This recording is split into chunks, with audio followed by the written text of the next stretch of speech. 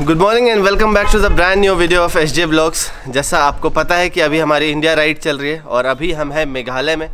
Last video में आपने देखा होगा कि हमने गुवाहाटी से एंटर किया मेघालय और एक्सप्लोर किया उमायम लेक उसके बाद हम चले गए थे शिलोंग।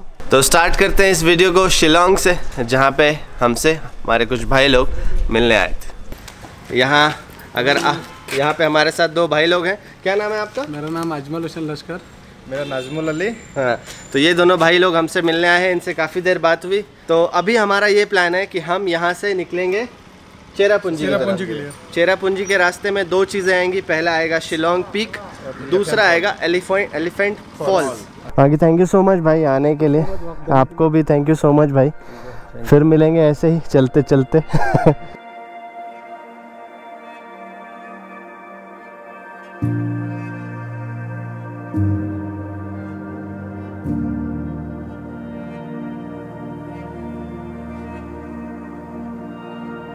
शिलोंग सिटी में थोड़ा आ, रास्ता वन वे बहुत ज़्यादा है जिसकी वजह से थोड़ी सी दिक्कत है। अब ये भी मुझे पता नहीं वन वे तो नहीं है? नहीं यार वन वे गूगल को तो पता होना चाहिए था ना। तो नो पार्किंग फाइन 500 यहाँ से हम ले लेंगे left so we made it to the next north east state which is Meghalaya Shillong के बाद अभी हम आए हैं अपने फ़र्स्ट साइट सीइंग प्लेस पे, जिसका नाम है एलिफेंट फॉल्स पहले इस जगह को थ्री स्टेप वाटरफॉल बोला जाता था, लेकिन जब ब्रिटिशर्स आए और उन्होंने देखा कि यार इस वाटरफॉल के जस्ट सामने एक ऐसा माउंटेन है जो एलिफेंट को रिजेंबल करता है तो इसका नाम एलिफेंट फॉल्स रख दिया।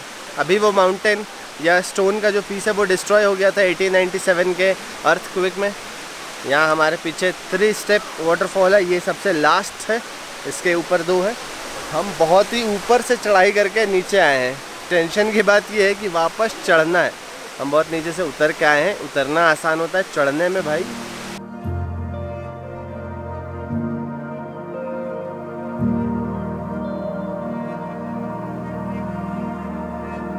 तो यहाँ पे एलिफेंट फॉल्स देखने के बाद, अब हम मेघालय को और ज़्यादा एक्सप्लोर करने के लिए जा रहे हैं यहाँ से चेरापूंजी और चेरापूंजी यहाँ से है 42 किलोमीटर। और अभी हम हैं चेरापूंजी में, जिसको कहा जाता है सोहरा। तो यहाँ पे कल रात हमने स्टे लिया था। आओ दिखाते हैं स्टे तो ये हमारी लजवंती है, शान से खड़ी है। और यहीं पे हमने अपना आज का, कल का स्टे लिया था। ये कुछ इस तरीके का कमरा अभी है, लेकिन ये कंप्लीट फील दे रहा था जैसे कि हम किसी हॉस्टल लाइफ को जी रहे हैं।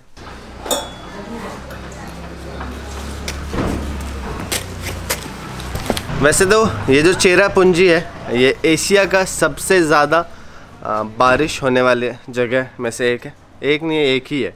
यहाँ पे सबसे ज़्यादा बारिश होता है। और चेरापूंजी के आसपास कुछ जगह हैं घूमने लायक, कुछ फॉल्स हैं, कुछ केव्स हैं। और कुछ रूट ब्रिजेज़ हैं जिसको double decker root root bridge कहते हैं सिंगल रूट ब्रिज कहते हैं। तो आज हमारा ये प्लान है कि सबसे पहले हम जाएँगे आ, कुछ फॉल्स हैं यहाँ पे आसपास नॉन की लिकाई फॉल्स और कुछ नाम है नाम थोड़ा सा थोड़ा ट्रिकी है। तो वो देखने जाएँगे। तो अभी हम जा रहे हैं नो का लिकाई फॉल्स जो कि यहाँ से ज़्यादा दूर नहीं है। और ये है चेरापूंजी का टैक्सी स्टैंड यहाँ पे कभी आप आते हो तो जनरली ज़रूरी नहीं है कि आप अपने व्हीकल से आओ। यहाँ टैक्सी इतने ज़्यादा है फैसिलिटीज़ इतनी ज़्यादा है कि आप पब्लिक ट्रांसपोर्ट से भी और शेयर्ड एंड रिजर्व्ड दोनों टैक्सी को यूज़ करके आप बढ़िया घूम सकते हो। और दूसरी बात, यहाँ पे चेरापूंजी शोहरा में होम स्टे बहुत ज़्यादा है। होम स्टे हैं होटल्स हैं लग्जरी स्टे हैं बजट स्टे हैं। जो हम जहाँ पे रुके हुए थे, वो हज़ार रुपये का बजट स्टे था तीन लोगों के लिए। एलिफेंट वाटरफॉल्स में जाने के लिए लग रहा था एंट्री टिकट सौ रुपये पर पर्सन यहाँ भी आई एम एज्यूमिंग कि पैसा लग रहा हो। अभी तक जो मेरा एक्सपीरियंस है as compare to all other mountains Meghalaya थोड़ा महँगा है भाई। ये थोड़ा अलग है मतलब उत्तराखंड और हिमाचल के जो पहाड़ मैंने देखे हैं, उससे काफ़ी अलग है। रास्ता पहाड़ी वाला नहीं है पर हम पहाड़ पे हैं। सामने एक छोटा सा लेक भी है। और ये शायद आगे क्रिश्चियन का ग्रेवयार्ड भी है। हाउ मच 150 150 किधर है भैया फॉल ये यहाँ ड्रोन से फ़ोटो ले सकते हैं? ड्रोन तो अलग है प्राइस क्या प्राइस है? अलग रेट है। कि कितना? 300 so we have reached Nohkalikai waterfall Meghalaya और ये जो वाटरफॉल है, पूरे इंडिया में सबसे टॉलेस्ट है। इसकी हाइट है 340 meter which is equivalent to 1115 feet सबसे ऊंचाई से जो गिरने वाला वाटरफॉल है, ये यही है हमारे जस्ट पीछे। यहाँ पे जो वाटरफॉल के गिरने के साउंड है, बहुत ज़्यादा ही सूदिंग है। You can stay here for long and long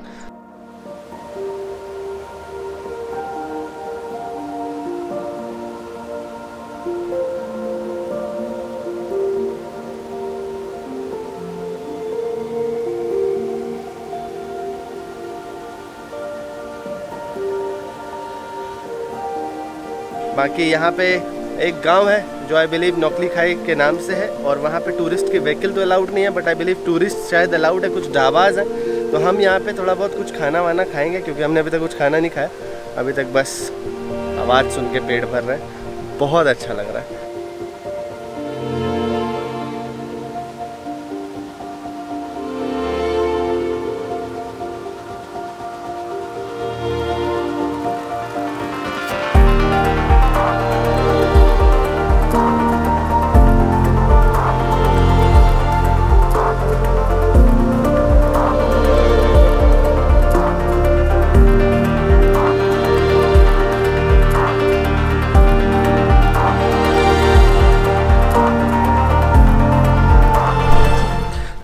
अभी हम यहाँ पे रुके हुए थे नौकली खाई गाँव। यहाँ पे एक छोटा सा ढाबा है और बहुत सारी चीज़ें मिलती है। सबसे पहले तो मैं आपको ये दिखाता हूँ। ये यहाँ के लोकल मसाले हैं दालचीनी है। ये काली मिर्च है ना? काली मिर्च। है अचार है हनी है। तो ये सारी चीज़ें यहीं लोकल जो जंगल है उनमें से ये निकलता है और पूरे ऑल ओवर इंडिया में इसको एक्सपोर्ट किया जाता है। और यहाँ पे जो इनके ट्रेडिशंस है उसके रिगार्डिंग कुछ कुछ ऐसे शो पीसेस भी हैं। वो सारी चीज़ें तो अलग है। यहाँ पे गोलगप्पे भी बन रहे हैं तो मेरा मन है गोलगप्पा खाने का। ये क्या है? आलू है? और ये वो वाला है ना जो मिलता है मार्केट में? और ये इमली की चटनी? ऐसा बहुत बारी होता है जब ऐसे होता है तो रहा नहीं जाता है जल्दी मिले। इधर दस के चार हैं ज़्यादा महँगा नहीं है भाई। ठीक। और गोलगप्पा दीदी आप लोग क्या कहते हो इसको? आप लोग भी गोलगप्पा कहते हो? Puchka फुचका यहाँ पे फुचका बोला जाता है। और खाने से पहले हाथ में आने से पहले मुँह में पानी पहले ही आ जाता है।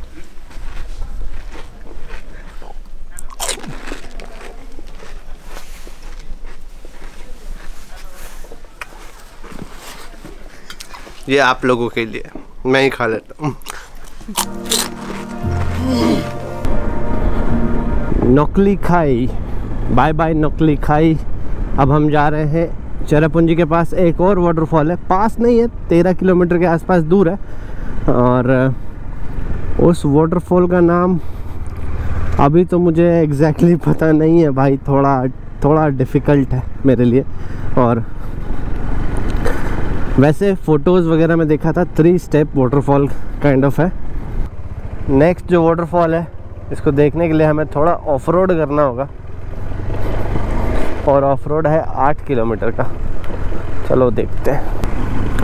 कहीं कहीं पे रोड है, कहीं कहीं पे ऑफ़ रोड है। पर जितना मैंने एक्सपेक्ट किया था, उतना ख़राब रोड नहीं है ठीक? ओह भाई वाटरफॉल को खोजते खोजते हम वाटरफॉल में ही घुस गए क्या? ये रास्ता थोड़ा डरावना नहीं है रात के टाइम यहाँ गाड़ियाँ तो है, इसका मतलब कुछ तो है, गुरु।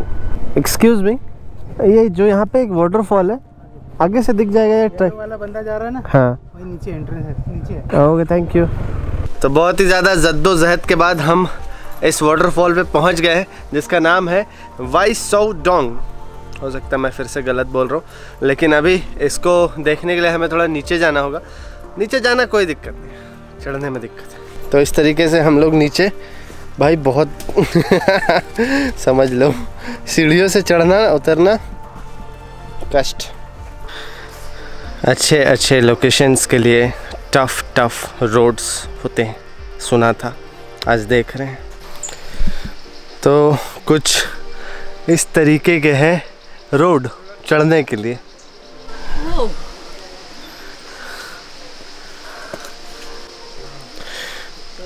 तो रास्ता कुछ इस तरीके का और थोड़ा डिफ़िकल्ट होता जा रहा है। बहुत ज़्यादा। पर कोई बात नहीं हम जाएँगे।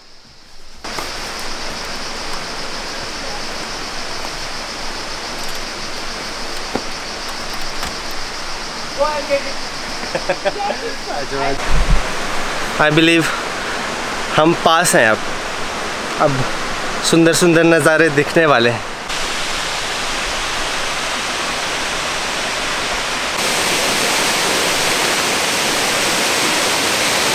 So we are just behind the Wei Sawdong waterfall और ये वाटरफॉल अभी वैसे पानी कम है। मानसून में बहुत ज़्यादा ही अमेजिंग लगता है। मैं मानसून में ट्राई करूँगा कभी यहाँ पे आके आपको दिखाने का। और थ्री स्टेप वाटरफॉल है। एक, ये जो सबसे लास्ट है, इसके ऊपर दूसरा, इससे ऊपर एक।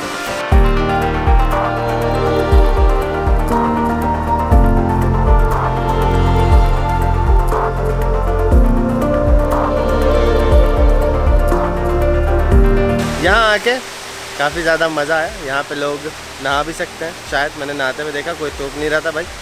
और एंजॉय कर रहे हैं सारे लोग। पानी का कलर गजब ग्रीन है ब्लूइश ग्रीन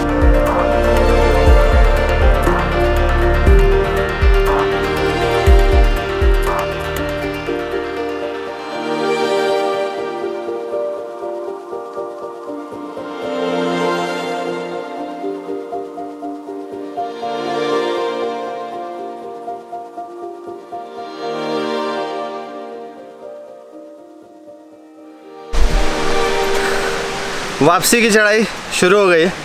पहला स्टेप पार हो गया। लेकिन बस ये पहला है भाई। ऐसे बहुत सारे हैं।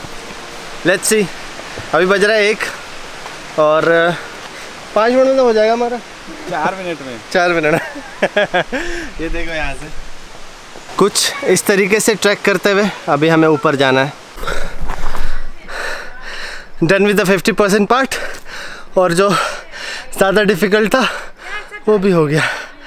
ना, फट गई यार। थोड़ा बहुत कुछ पेट में जाने के बाद अब हम जा रहे हैं यहाँ से माउलिंग लॉन्ग नाम मैं शायद गलत बोल रहा हूँ भाई। But this is the most cleanest village in India और वहाँ से कल हम जाएँगे डाउकी। तो ये यहाँ से लेते हैं राइट। थोड़ा सा जो ये ऑफ़ रोड का पैच है, ये अभी चलेगा। मावलिंग लॉन्ग जो है, वो यहाँ से 70 किलोमीटर है। और अभी टाइम हो रहा है मतलब तीन बज रहा है। बट दिक्कत ये है यार कि यहाँ पे इतना जल्दी सनसेट हो जाता है विंटर्स में कि मुझे लगता है एक घंटे के बाद सनसेट हो जाएगा। चार, साढ़े चार तक सनसेट हो जाएगा और फिर हमें आज थोड़ा अंधेरे में राइड करनी होगी। अभी भी आप देखो तो लाइट इतना ज़्यादा नहीं है, तीन बजे के हिसाब से तो नहीं है। लग रही थी भैया ठंड। इसीलिए हमने सोचा कि थोड़ा खाना खाते हैं। ठंड अपने आप जाएगी। तो अविनाश भाई ये बताइए अभी तक का राइड कैसा लग रहा है? राइड तो बहुत बढ़िया चल। मज़ा आ रहा है? बहुत मज़ा एस जे ब्लॉग्स के साथ मज़ा? ऐसे ब्लॉग के साथ हाँ। मतलब सोचा नहीं था इतना भी मज़ा आएगा। ये लो पाँच सौ और और थोड़ा तारीफ़ करो। बहुत मज़ा आ रहा है भैया। तो यहाँ हमारा खाना आ गया है। ये है मिक्स वेज ये है बटर पनीर मसाला और रोटी। चलो इसको निपटाते हैं हैं। तो बढ़िया खाना वाना खाने के बाद अब हम यहाँ से निकल रहे हैं मौलिंग मौलिंग लॉन्ग की तरफ़ और वो यहाँ से है दो घंटे आठ मिनट, जो कि 67 किलोमीटर है यहाँ से और साढ़े छः बजे पहुँचने का टाइम बता रहा है। चलो भैया, यहाँ की अलग ही वादियाँ हैं यार, अलग रोड, अलग वादियाँ, थोड़ा डिफरेंट है मेघालय।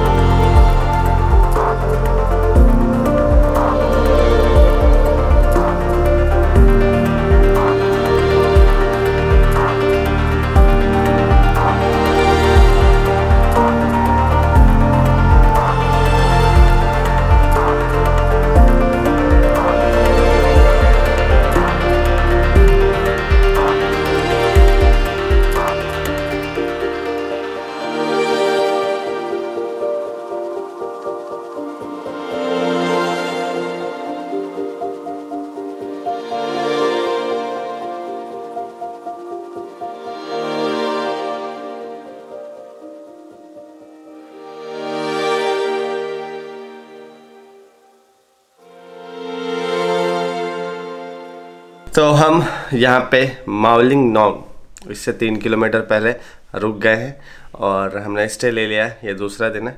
मावलिंग नोंग कैसा जगह है? डाउकी कैसा जगह है? और रेस्ट ऑफ़ द मेघालय कैसा जगह है? और क्या क्या चीज़ें हैं, ये आपको नेक्स्ट वीडियो में देखने को मिलेगी। ये वीडियो थोड़ी लंबी हो गई, इस वीडियो में वाटरफॉल्स बहुत ज़्यादा ही दिखा दिया मैंने। तो आज के इस वीडियो में इतना ही, उम्मीद है आपको पसंद आई होगी। और अगर आई है मेक श्योर sure आप इस वीडियो को लाइक करें, अपने दोस्तों के साथ शेयर करें, अपने ब्यूटीफुल थॉट्स को कमेंट में लिखें। और अगर आपने इस वीडियो को यूट्यूब पर देखा है और सब्सक्राइब अभी तक नहीं किया हमारे चैनल को तो सब्सक्राइब करके जाना। फेसबुक पर देखा है और फॉलो अभी तक नहीं किया है तो फॉलो करके जाना।